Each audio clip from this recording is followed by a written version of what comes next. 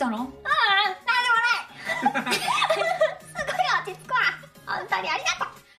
だから、うん。ね、もしだけど、あの、す、一つの手段としてね、うんなんかその、今のその、付き合っていることを、一旦距離を置いてみたりして、なんか、あ、ってまた気づくことがあるかもしれないし、うんなんかこう、あ、やっぱりこっちの方がいいのかもしれないって思うかもしれないし、うんなんか、とりあえずなんか変化をね、うんもたらしたらいいと思いますよ。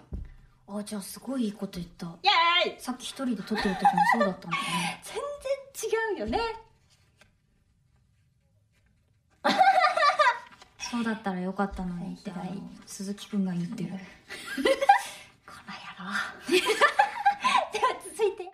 ペンネーム M 化した魔人さんからいただきました昔と魔人。先輩が女子の前で放った一言女なんて金さえあれば誰でも寄ってくるんだよその後彼を見た者はいなかった でしょうねうんいないだろうね。しかもすごいね。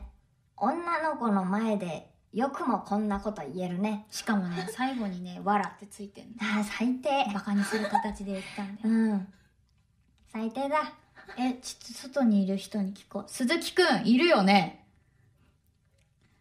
金さえあればいいだろって思ってる人ではないよね。あ。あ。男が。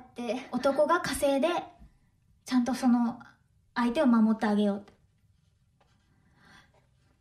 うんうん。ちゃんとちゃんと男性として女性を守ってあげたいっていう気持ちが今伝わってきた。好感度を上げていくスタイルです。やめなさいよ。なんでここで喧嘩していくの、しっかりできた人ですよ、鈴木くんは。うん。鈴木 VS 古賀なんだ？最近ずっとね、そうなの。だってひどいんだよ。何？あのね、話しかけるじゃん。うん。そしたらね、なんやって言ってくるの。本当にも私ないよって言われたことない。あありがとうございますとかって言って。うなんで？なんやって。おかしいでしょ。おかしいでしょ。なんなのもう本当に続いていくよ。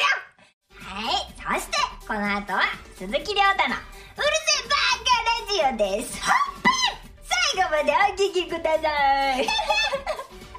果たしてねウルバカのリニューアルはあるのかな？あおちゃんそんなにやってると降ろされて変わるよここ やだやだやだごめん鈴木くんがここに来てあおちゃんのうるせえバーカが。あそれはよくない。私も一人はちょっと